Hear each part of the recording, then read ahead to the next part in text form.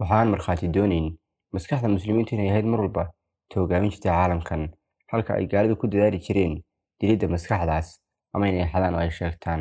Cilmiyada kala duwan maanta aragno dhammaantood waa maskax muslim. Hadday ahaato caafimaad iyo hadday xisaabba ahaato muuqaalkeena maanta waxaanu diradda ku saaraynaa mid ka mid ah maskaxda muslimiinta casrigan maskax diiday inay ku doorsato adduunyo cilmigeeda maskax uu ninkii gaal ahaa ka yaabay kadibna uu damiyey ama dilay halkani waa halgan midiya magacayguna waa axmed maxamed. Ku soo dhowaada daawadayaal muuqaalkeena maanta.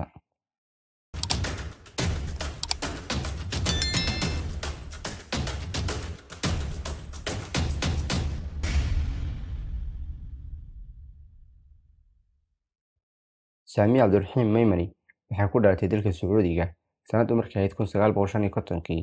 Waa barofesoor jaamacadeed hal abuure digtoorad sidoo kale waa haweeneydii ugu horreysay muslim ah ama ka soo jeeda carab ee ku takhasustay qalliinka neerfaha. Waxay wax ka baratay jaamacadda boqor faysal waxay aada ugu dadaashay barashada heerka dhaawacyada maskaxda iyo siyaabaha loo daaweeyo. Dunida oo dhan waxay ka faa'iidaysatay cilmibaadhisteeda caafimaad iyo halabuurada daawooyinkeeda. Maymani waxay saameynta ugu weynad yeelatay markii wax ka beddeshay miisaanka qalliinka neerfaha. Waxaa la sheegaa sababtii ka dambeysay inay qaadato takhasuska neerfaha aabaheed cabdiraxiim almaymani waxa uu ku dhintay shil? Sababay inay maskaxda ka soo gaadhaan islamarkiina uu dhinto. Intaa wixii ka dambeeyey waxay ku adkaysatay oo go'aansatay inay noqoto dhakhtarkii ugu horreeyey ee ka soo jeeda dal carabeed. Kuna takhasusay arrimahan. Cilmiga neerfaha oo aan lagu dhigan jirin xilliga dalka sacuudiga waxay u safartay dalka maraykanka si ay u soo barato. Waxay ka gudubtay imtixaanadii kala soocidda ahaa si ay ugu biirto mid ka mid ah jaamacadaha caafimaad ugu caansan maraykanka laguna magacaabo jaamacadda charles markay dhammaysay jaamacadda waxay ka shaqo bilowday hosbitaalka loo yaqaano martin luther king. Intii ay ku guda jirtay waxbarashada iyo ka shaqaynta hosbitaalka waxay ku guulaysatay samaynta halabuuro dhowr ah oo ay ka mid yihiin nidaamka nasinta neerfayaasha kaasoo ah unugyo kombyuutareed oad ku xakamayn karta neerfaha gaar ahaan neerfayaasha maskaxda ee uu ku yimid qalalku ama curyaamay iyagoo o dhaqaajinaya sidaan ay ku bogsanayaan. Waxay sidoo kale ikhtiraacday qalab loo yaqaan gong. Qalabkan waa qalab ay yar tahay in la arko noociisa waxa kaa caawinaya inaad xakamayso unugyada dareemayaasha inta u dhexaysa furitaankooda iyo xidhitaankooda. Waxaan la ilaawi karayn aaladdii lagu magacaabi jiray mars oo lagu ogaanaya kansarka marxaladiisa koowaad ka hor intaanu fidin.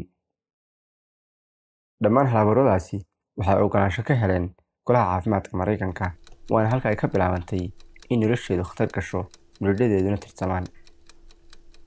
Golaha caafimaadda maraykanku wuxuu u soo bandhigay saamiya inay ka tanaasusho qaybo ka mid ah halabuuradeeda looguna beddeli doono lacag dhan shan milyan oo dollar iyo dhalasho maraykan ah. Saamiya way diiday waxayna tidhi faa'iidooyinka halabuurkayga kuma beddelani waxay soo bandhigaysaan waxayna iska sii waatay waxbarashadeedii iyo gaadhidda guula cusub. Waxaa si kadiisa loo waayey digtoresa saamiya mary jani colib dhigtay. Kadib ehelkeeda oo maalin maalmaha ka mid a daawanaya war ay baahisay wakaaladda c n n ayaa arkay meydka gabadhooda oo laga helay magaalo ka mid ah magaalooyinka maraykanka iyadoo ku jirta tallaagad xumaatay oo la tuuray una dhimatay wejin sida laga soo xigtay warbixinada booliska gobolka californiya saynisyahanadan da'da yar waxaa dilay tuug u soo dhacay gurigeeda oo doonaya inuu xado laakiin markay iska caabid samaysay waxa uu ku khasbanaaday inuu dilo.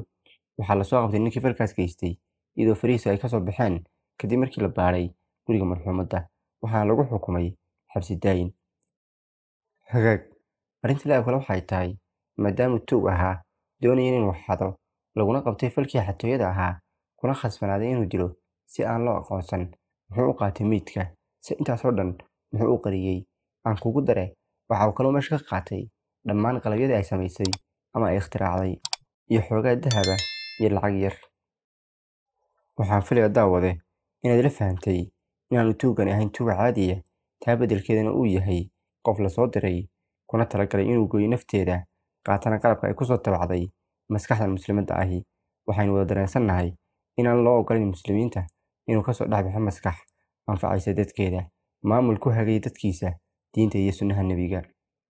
Hadday dhacdana marka hore waxaa loo soo bandhigayaa inuu ka tanaasulo kuna beddesho adduunyo.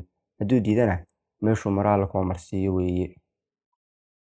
Guud ahaan intaas waa muuqaalkeenni maanta haddii uu qanciyo haylaaw inaad leeg saarto dadna wuu cusubtahay nagu soo biir adoo sabskrib saaraya siina sheer si aan u helno saaxiibo wanaagsan sidaad oo kale mahasani daawade wasalaamu calaykum waraxmatullaahi wabarakaatu